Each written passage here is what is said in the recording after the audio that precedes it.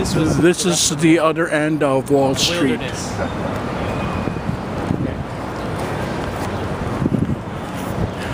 And that's the rest of the world in front of us. And that's Wall Street. Trinity Church. Huh? The church. All right.